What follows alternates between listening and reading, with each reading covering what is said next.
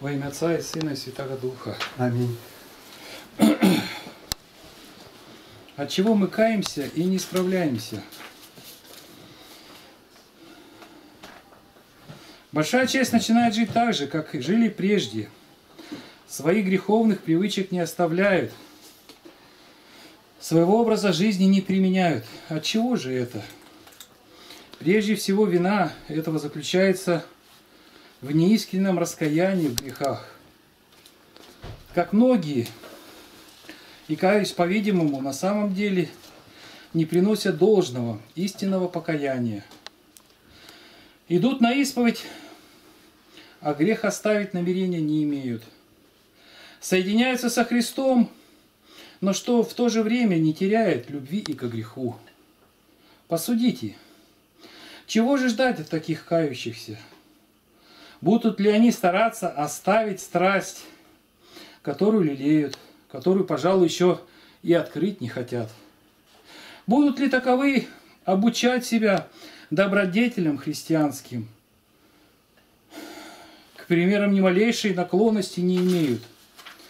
Очевидное дело, какими они были до исповеди, такими и останутся после нее. А улучшения нравственного от них ждать нечего – но не все же приносят покаяние ложное. Многие, очень многие, когда идут на исповедь, думают о перемене жизни своей. Но и как и... Но из этих очень немногие уст... устраивают ее в своем добром намерении. Очень немногие действительно переменяют себя. Это от чего? У них недостает терпения. Постоянство в борьбе с грехом – Победить грех можно только постоянную, продолжительную борьбою, постоянным противлением ему. А где в нас это противление греху? Представился случай к совершению его, и мы не в силах удержать себя.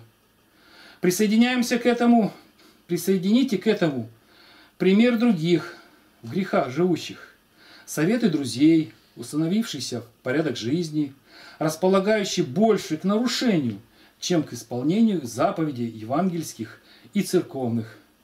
И вы поймете, как человеку трудно становится противиться этому напору искушений. Но если ты, христианин, действительно имел твердое намерение измениться, а чего бы не попытать, как только представится случай к греху, бежать от него дальше, как только возникло в тебе поползновение греху, подавить его вначале – но ты не сделал этого. Не употребил усилия над собою, не возвал в минуту искушения со слезную молитву Господу. И вот только что полученную в таинствах покаяния и причащения чистоту ты опять запятнал. Часто мы сами ищем повод к греху. Зачем мы после исповеди и святого причастия вскоре и с радостью идем в те места, где прежде губили себя – в то общество, к тем лицам, которые служат или соучастниками нам во грехах, или орудиями их. Что же удивительного, если мы снова впадаем во грехи, нами любимые? Разве возможно быть на огне и не обжечься? Играть острым ножом и не обрезаться?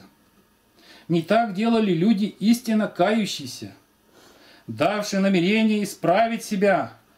Они не стремились, а бежали от того, что коим бы то ни было образом могло располагать их к греху.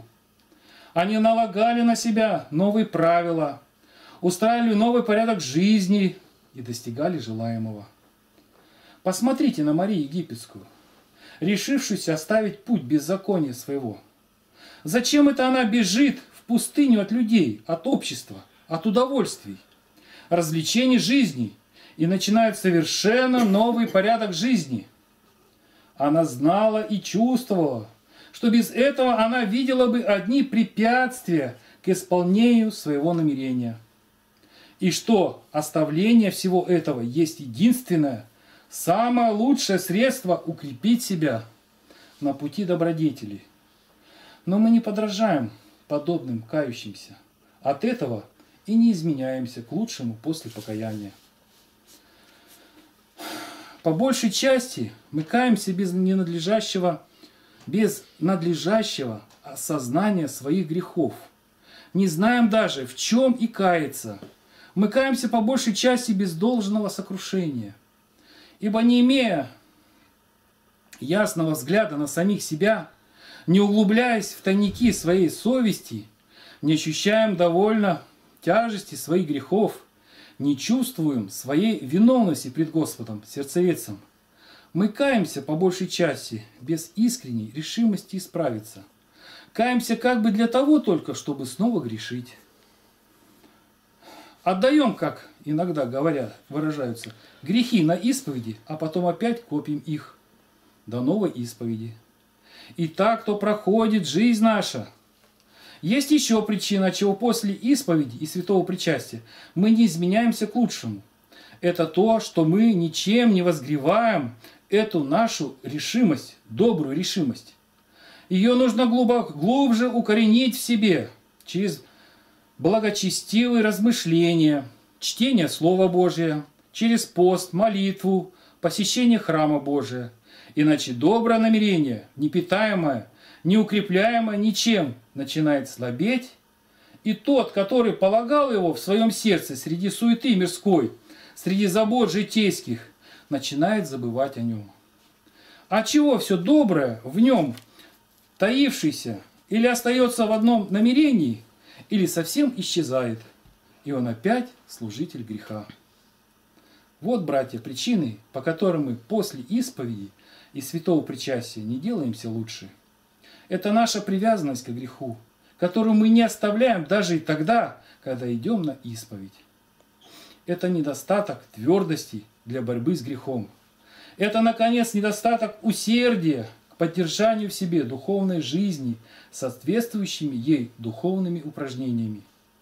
Не будем предаваться рассеянию и обленению чтобы таинства покаяния и святого причастия были плодотворны в нас, усугубим внимание к себе, употребим усилия для над собой. Все в жизни достигается трудом и усилием. Трудиться, бороться с собой нам нужно, и тогда только найдем, выйдем победителями. Неизреченная милость Божия в том, что нам, грешным, даровано право приносить покаяние. Ибо по суду правды нарушитель воли Божьей должен был бы подлежать вечному гневу Божию. Можно ли нам бесчувственно злоупотреблять дарованную милостью? Безмерное долготерпение Господа и Бога Спаса нашего, что Он, не хотящий смерти грешника, готов 70 крат седмирицу отпустить ему грехи, но можно ли нам бесчувственно, своим небрежением искушать Божье долготерпение? Подобная бесчувственность не может быть и безнаказанную. Святой Иоанн Предтеча, требуя откаявшихся грешников плодов, достойных покаяния, при этом предостерегал их, что всякое дерево, которое не приносит доброго плода, посекается и бросается в огонь вечный. Матфея 3 глава, 10 стих. А святой апостол Павел, вразумляя грешника к исправлению, говорит, или о богатстве благости, и кротости, и долготерпения не родите. По жестокосердию же твоему и непокаянному сердцу собираешь себе гнев на день гнева и откровение праведного судья, суда Божьего. Римлянам 2 глава 4-5 стихи. Да восстанем, да настанет время, когда и покаяние будет уже неблаговременно, и исправление неуместно. Господь милосердный явится некогда судьей нелицемерным, нелицеприятным, и воздаст каждому по делам его.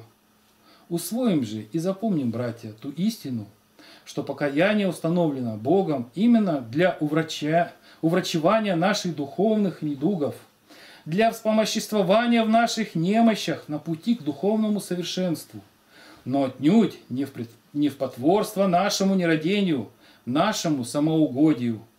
Надо бы нам дорожить Божью милостью, чтобы быть достойным милости. Надо бы нам бояться суда Божья, чтобы не подвергнуться осуждению праведному. Из сочинения сотворите плод, достойный покаяния, со- составил душепопечитель 1885 года, февраль, страница 231. Аминь. Аминь.